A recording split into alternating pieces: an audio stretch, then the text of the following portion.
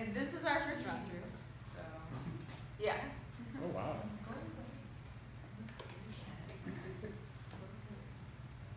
Okay.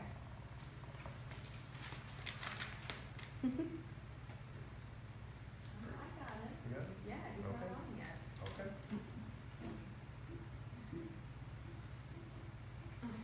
There was once a little tooth, named Fernando. Fernando was the best player on his and took care to go to bed early the night before so as to get up, oh, to get a good night's rest for the big game tomorrow. It was the biggest game of the soccer season, the championship, and Nando was excited to make his team proud. The next morning, Nando woke up in horror. He had completely overslept. He had to rush to get to the field. He thought if he took a shortcut, he could get there in time. But the only street fast enough was Candy Lane. Hmm. Nando decided if he could run fast enough, he wouldn't be stopped by anyone. So he started to run down the street when all of a sudden, Senor Jarrito and Manita came out of the shadows.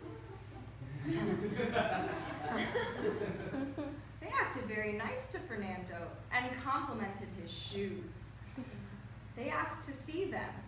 Fernando gave his shoes to them, but when he tried to get them back, Manito and Senor Jarrito beat him up.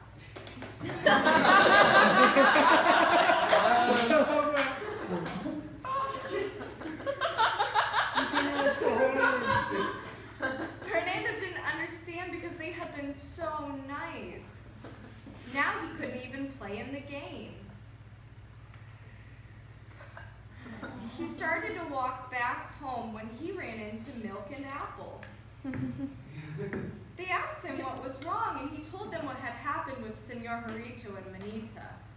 Milk and Apple told Fernando that they could help him.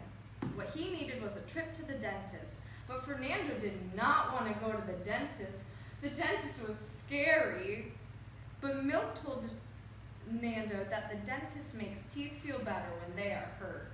And Apple told him how she can polish him to make him brighter too.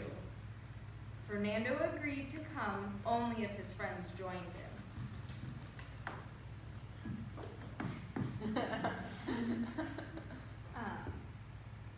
Oh, Milk and Apple walked Fernando to the dentist.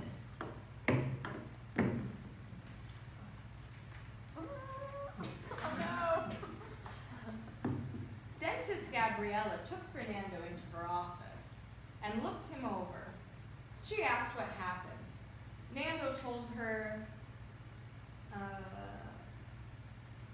about Senor Jarrito and Manito and how they were nice at first, but then they hurt him and took his shoes.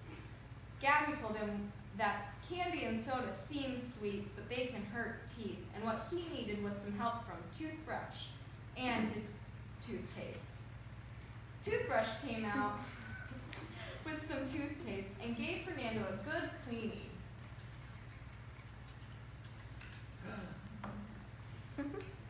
that made him feel stronger and brighter.